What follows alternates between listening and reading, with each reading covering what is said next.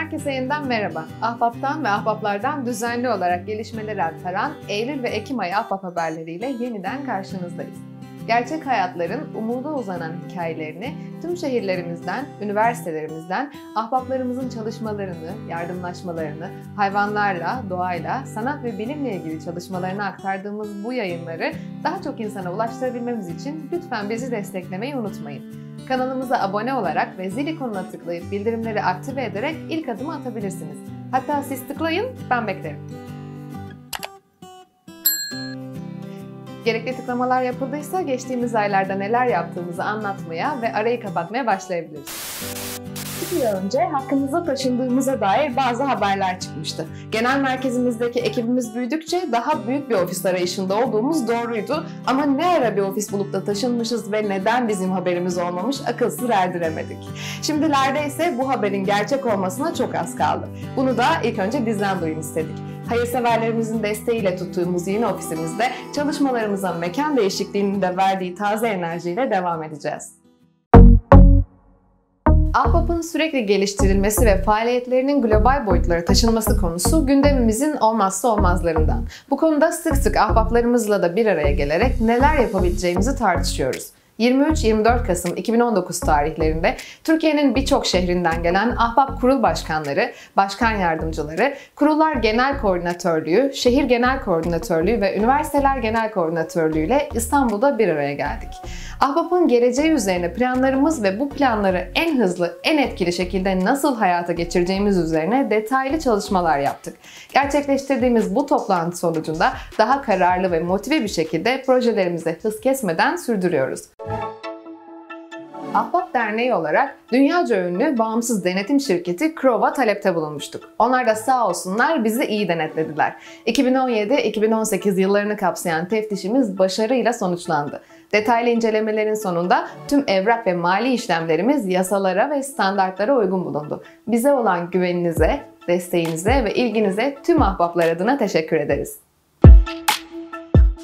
Daha bilinçli nesillerin yetişmesinde eğitimin çok büyük bir rolü olduğunu biliyoruz ve bu yüzden de eğitim konusuna büyük bir hassasiyetle yaklaşıyoruz. Eğitime destek amaçlı düzenlediğimiz etkinliklerin yanı sıra eğitim masraflarını zor karşılayan veya imkanı olmadığı için öğrenim hayatlarına devam edemeyen öğrencilerimize destek sağlamak üzere tüm gücümüze çabalıyoruz. Ahbap kurulduğundan beri bize ulaşan adaylardan belirlediğimiz kriterlere uygun olan 245 öğrencimize bir yıllık burs vermiştik. Bu yıl bununla yetinmeyip bu konuda yoğun çalışmalar yaptık. Artık Ahbap bursunu 2019-2020 döneminden itibaren tüm bursiyerlerimize aylık 300 lira olarak öğrenim hayatları boyunca karşılıksız olarak vereceğiz. Bursiyerlerin en adil ve şeffaf şekilde belirlenmesi için geliştirmiş olduğumuz Ahbap burs algoritmasından yararlanacağız. Burs başvurularının sonuçlarını ise önümüzdeki günlerde açıklayacağız. Sonuçlar hakkında biz de en az sizin kadar heyecanlıyız. Ne de olsa ailemize yeni ahbaplar katılacak ve biz onlarla tanışmak için sabırsızlanıyoruz.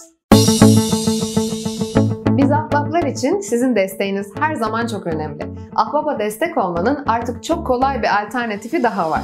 BKM Express mobil uygulamasındaki bağış menüsünden veya uygulamadaki kare kodu oku butonundan web sitesindeki kodu okutarak sadece birkaç adımda bağış yapabilirsiniz.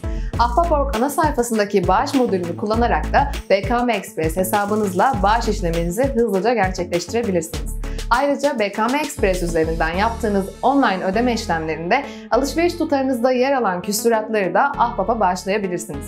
Unutmayın, vereceğiniz en küçük destek birileri için umut, bizim içinse daha fazla iyilik fırsatı demek. Milyonlarca yıldır bize ev sahipliği yapan dünyamızı atıkların yükünden bir nebze olsun kurtarabilmek ve sürdürülebilir bir gelecek için çeşitli geri dönüşüm çalışmaları yürütüyor, temizlik etkinlikleri düzenliyor ve daha etkili çözümler arıyoruz. Büyük ilgi gören Kirletme Temizli Harekatımız bu çalışmalarımızdan yalnızca bir tanesi. Bu projeyle şimdiye kadar doğayı 12 bin torba atıktan kurtarmıştık. Projenin 3. adımını 19-20 Ekim tarihlerinde Türkiye'nin dört bir yanında eş zamanlı olarak gerçekleştirdik. Herkesin katılımına açık olan ve her yaştan insan tarafından büyük ilgi gören etkinliğimizde 1023 ahbap gönüllüsünün katılımıyla toplamda 1347 torba atık topladık.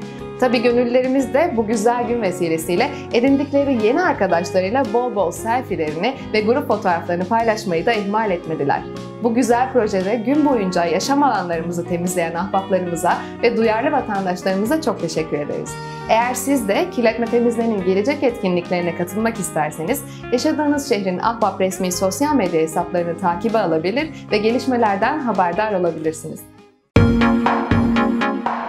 Ahbap olarak her konuda olduğu gibi doğaya da kalıcı çözümler bulmak ve bizden sonraki nesillere daha iyi bir gelecek sağlayabilmek için çalışıyoruz. Bunun için dünyanın ekolojik dengesini korumanın ve kaybedilen ormanlık alanlarda ağaç dikmenin yeterli olmadığını, o alandaki habitatı yeniden kurmanın da hayati öneme sahip olduğunu biliyoruz. Bu bağlamda 11 Kasım 11.11'de Orman Genel Müdürlüğü tarafından organize edilen Geleceğe Nefes organizasyonuna biz de ülkemizin dört bir yanından 5000 ahbapla birlikte katılarak destek verdik. Ahbap Genel Başkanı Haluk Levent'in de İstanbul'da dahil olduğu organizasyon genelinde 5000 ahbapla toplam 40 bin fidanı diktik. Dikimden sonra alandaki fidan tüpleri ve diğer tüm çöpleri toplayarak Kirletme Temizle organizasyonumuzun eş zamanlı dördüncü etkinliğini de gerçekleştirmiş ve doğayı yüzlerce torba atıktan kurtarmış olduk. Organizasyonda emeği geçen ahbaplarımıza ve bizimle birlikte çalışan herkese çok teşekkür ederiz. Genel Başkanımız Haluk Levent, 5 Aralık Dünya Gönüllüler Günü'nde Sabancı Holding tarafından düzenlenen Geleceğe Gönüllüyüz konferansına İsmail Küçükkaya ile birlikte konuşmacı olarak davetliydi. Sabancı Gönüllüleri ve Sabancı Holding Yönetim Kurulu başta olmak üzere gönüllülüğü ilke edilmiş birçok katılımcının olduğu konferansın açılışını sunumuyla Güler Sabancı yaptı. Gönüllülüğün önemini sıkça vurgulandığı bu seminerde Haluk Bey de önce Ahbap'tan ve Ahbap'ın yaptığı işlerden bahsetti. Biz de bu vesileyle ailemizin kocaman bir parçası olan gönüllülerimize bize kattıkları her şey için yürekten teşekkür etmek istiyoruz. Ahbap olarak geldiğimiz noktada siz gönüllülerimizin desteği ve emeği çok büyük. İyi ki varsınız. Ekranda gördüğünüz bu tatlı çocuğun adı Yusuf. 3,5 yaşında ve hayatı boyunca hiç Luna Park'a gitmemiş. Onun en büyük hayalinin bu olduğunu öğrendiğimizde gerekli çalışmalara başladık ve onun bu hayalini renklendirip bir sürpriz hazırladık. Luna Park'a giderken heyecanla gülümseyen Yusuf, sevdiği süper kahramanlarla doya doya bir gün geçirdi. Biz ahbaplar her şey gibi engelleri de aşabilmenin tek yolunun beraber hareket etmekten geçtiğini ve iyilikle sevginin aşamayacağı hiçbir engelin olmadığını biliyoruz. Minik ahbabımız Özgür'ün hikayesi bunu kanıtlayan en güzel örneklerden biri. Doğuştan işitme engelli ve kalp hastası 7 yaşındaki Özgür, kalbinde takılı olan pille yaşamını sürdürüyor. Bebekken implant ameliyatı geçiren Özgür'e takılan işitme cihazı bozulunca dünyasındaki sesler birden susmuştu. Bizimle bağlantı kurmalarının ardından Özgür'ün dünyasına ses olabilmek için hastane ve işitme cihazı firması arasında adeta mekik dokuduk ve cihaz için gereken raporun hazırlanması için var gücümüze çalıştık. İşitme cihazının en hızlı şekilde temini için tüm çalışmaları yaptıktan sonra Özgür'ün ihtiyacı olan Opus 2 cihazının 16.800 liralık kısmının devlet tarafından karşılandığını öğrendik. Kalan miktarın karşılanması konusunda destekçimiz Emre Aksoy oldu ve minik Özgür sonunda cihazına kavuştu. Cihazın takılmasını izleyen dakikalarda tüm süreçte olduğumuz gibi yeniden ilk seslerini duyarken de Özgür'ü yalnız bırakmadık. Özgür'ün ardından şimdi de ben koşmak istiyorum diyen Muhammed'in engelleri aşmak için adımlar attığı o anlara götürüyoruz sizi.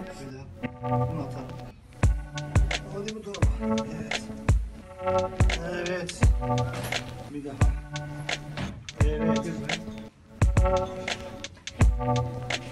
4 yaşındaki minik Muhammed doğuştan belden aşağısı olmayarak dünyaya gelmişti. Oğulları Muhammed'in de arkadaşları gibi yürüyüp koşabileceğinin mümkün olup olmadığını merak eden ailesi bize ulaştı. Muhammed'in yürüyebilmesi için ahbaplar olarak canla başla çalışıp medikal araştırması yaptık. Proklinik Medikal bize Muhammed için eşi olmayan bir protez tasarlayabileceğinin müjdesini verdi. Bu müjdenin heyecanıyla Muhammed'i medikal firmasına götürdük. Muhammed'in ölçümleri alındıktan sonra protezin yapımına başlandı. Minik ahbabımızın yürüyebilmesine imkan sağlayacak olan 53 bin liralık protezin masraflarının karşılanmasına Ankara'dan bir hayırseverimiz destek oldu. Artık Muhammed de bizler de onun protezine kavuşması ve minik adımlarını ilk defa atmasını görebilmek için gün sayıyoruz. Biri 3 yaşında, diğeri 10 aylık iki çocuk annesi 22 yaşındaki Sura, lenfoma kanseriyle mücadele eden yaman bir savaşçı. Tedavisi için Azerbaycan'dan İstanbul'a gelmiş. Babası ve babaannesinin emekli maaşları tedavisini karşılayamaz hale gelince bizlere ulaştı. Durumu tam anlamıyla öğrenip neler yapabileceğimizi planlamak için Sura ile uzun uzun görüştük. Kaybedecek zaman yoktu. Sura'nın bir an önce tedavisine devam etmesi gerekiyordu. Sura'nın tedavisi için 400 bin lira gerektiğini öğrendiğinde Genel Başkanımız Haluk Levent, Azerbaycan'da bir konser vermek istediğini ve tüm gelirin Sura'nın tedavisine harcanacağını duyurdu. Ardından tüm görüşmeler tamamlandı ve 7 Aralık'ta Nergis Found aracılığıyla Elektra Events Hall'da muhteşem bir konser gerçekleşti. Sevgili Azerbaycanlı kardeşlerim, ben bugün çok mutlu oldum. Konser çok keyifli geçti. Biliyorsunuz ben bu konseri İstanbul'da tedavisi olan Sura kızımız için yaptım. Nergis Vakfı teşekkür ediyorum hepsine. Onlar da çok destek oldular. Ee, ve bu kızımızı kurtaracağız inşallah. Gelecek hafta ameliyatı olacak. Çok keyifliydi. Bakü'yü çok sevdim. Bakü'ye bir kez daha gelmek istiyorum zaten. En yakın zamanda. Tüm Azerbaycan milletine, canımıza, kardeşlerime çok teşekkür ederim. Süreçte bizden misafirperverliğini esirgemeyen Sayın Milletvekili Ganira Paşayeva'ya biletler, organizasyon ve ses sistemi ile ilgili destek sağlayan iTicket'a, organizasyon desteği için A A Events'e, Nergis Fund Başkanı Ulviye Mahmutova'ya ve konaklama için destek sağlayan Hilton Otel Bakü'ye gönülden teşekkür ederiz. Halen tedavisi devam eden Sura'nın sağlık sürecini yakından takip ediyoruz. Kastamonu'nun Yukarı El Yakut köyünde yaşayan Karagözoğlu ailesi evlerinde çıkan yangın sonucunda yuvalarını kaybetmiş. Bize ulaştılar, haberi alır almaz ateş bu sefer düştüğü yeri yakmasın dedik ve ahbaplarımız ailemizi ziyaret etti. Durumun ne olacağına ve neler yapılması gerektiğine dair rapor çıkarıldı. Bir buçuk aylık bir süre sonunda ailemize yeni bir yuva yapabilmemiz için gerekli izinler alındı ve bir valilik kampanyası başlatıldı. Evin yapımında bizlere destek olmak isteyen ve Twitter'dan bize ulaşan tüm hayırseverlerimize ulaştık. Kimi badana yapmak için ulaşmıştı, kimi ise eşya taşımak için. Bu dayanışma ruhuyla sevginin gücünü de arkamıza alarak hızlı bir şekilde el birliğiyle evin inşaatına başladık. Genel Başkanımız Haluk Levent ve ahbaplarımızla birlikte badana boya ve parke işlerini de bitirdikten sonra geri çekilip ailemizle birlikte her bir köşesinde sevginin ve işbirliğinin izleri bulunan bu sıcacık yuvayı seyretmeye koyulduk. 11 yaşındaki Hüseyin'le solunum cihazı ihtiyacını belirten videosu sayesinde tanıştık. Ahbaplar olarak vakit kaybetmeden Elazığ'ın Arıcak köyünde yaşayan Hüseyin ve ailesini ziyarete gittik. Hüseyin'in muayenesi gerçekleştirildi. Muayene sonucunda Hüseyin'in solunum cihazına değil, steril bir evde yaşamaya ihtiyacı olduğu anlaşılınca çalışmalarımıza buradan başladık. Şehir merkezinde Hüseyin'in tedavisi için hastaneye, eğitim için de okuluna yakın uygun bir ev bulduk. Ev kirası için bir hayırseverimiz destek olunca evin temizliği ve sterilizasyonu için ahbaplar olarak kolları sıvadık. Dip köşe her yer temizlenip sterilize edildi. Eminiz ki ailelerimiz bizi o halde görse gururdan gözleri yaşarırdı. Bir sonraki adım olan ev eşyası arayışı esnasında Hüseyin Fırat Hastanesi'ne yatırıldı. Süreç içinde durumu ağırlaşınca Ankara'ya sevk edildi. Ankara'da olduğu süre boyunca Ahbap Ankara tarafından ağırlanan Hüseyin, tedavisinin bitiminin ardından evine döndü. Hüseyin artık evinin karşısındaki okuluna eğitimini aksatmadan gidebiliyor ve arkadaşlarıyla evinin yakınlarındaki parkta keyifle oynayabiliyor. Hüseyin'in tedavisi hala sürüyor ve bizler de ahbabımızın sağlık durumunu yakından takip ediyoruz. Havaların soğumaya başlamasıyla birlikte sokak ahbaplarımız daha sık aklımıza düşer oldu ve onlar için daha çok çalışmaya ve üretmeye başladık. Türkiye'nin her yerinden ahbaplarımızla sokak hayvanları için kulübeler ve barınma alanları yaptık ve de yapmaya devam ediyoruz. Kulübelerimizi doğadan toplanan atık maddelerin geri dönüştürülmesiyle yapıyoruz. Böylece hem sokak ahbaplarımızın kışı daha rahat çıkarmasına yardımcı oluyor hem de geri dönüşümü dönemine dikkat çekiyoruz. Bunun yanında Eskişehir'de Oda Yalıtım ve Odunpazarı Belediyesi gibi çalışmalarımıza destek olan hayırseverlerimiz sayesinde daha fazla sokak ahbabımızı soğuktan koruyabiliyoruz. Çok yakında tüm Türkiye'de eş zamanlı olarak gerçekleşecek bir kulübe yapma etkinliği düzenleyeceğiz. Etkinlik detaylarını ilerleyen tarihlerde sizlerle paylaşacağız. Bizi takipte kalın. Ahbap Bilim ve Teknoloji Kurulu Anadolu'nun her köşesindeki insanları bilim ve teknoloji ile buluşturmak için çalışmalarına tüm hızıyla devam ediyor. Bilim ve Teknoloji Kurulu'nun Mucit Ahbap projesi kapsamında Gebze'nin Ovacık köyündeki çocukları teknolojiyle buluşturmak adına düzenlediği etkinlikte bilgisayar parçaları tanıtıldı. Çocuklarla birlikte bir bilgisayar kasası sökülüp yeniden takıldı ve 3D yazıcılardan çıktılar alındı. Üniversiteli ahbaplarımızdan da haberlerimiz var. Aramıza yeni katılan Aydın Adnan Menderes Üniversitesi, Uludağ Üniversitesi, Ağrı İbrahim Çeçen Üniversitesi ve Samsun 19 Mayıs Üniversitesi ile birlikte 20 resmi kulüp olduk. Üniversitelilerle ahbap olmaya devam ediyoruz. Daha sizlere anlatacak çok şey var aslında. Ama şimdilik bizden bu kadar. Ahbaptan haberlerin tamamına aşağıdaki sosyal medya hesaplarımızdan ulaşabilir ve Ahbap.org veya BKM Express üzerinden bağışta bulunarak yardım bekleyen tüm canlılara doğaya destek olabilirsiniz. Bir sonraki haberlerimizde görüşmek üzere. Hepinize mutlu yıllar.